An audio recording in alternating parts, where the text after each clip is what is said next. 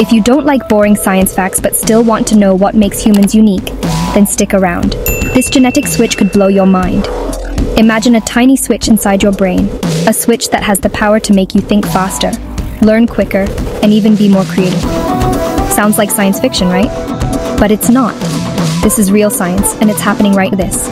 Humans are basically the Einsteins of the animal kingdom. We have the ability to solve complex problems, create art, and even ponder the mysteries of the universe. Scientists just found a genetic switch that may be behind our brain's superpowers.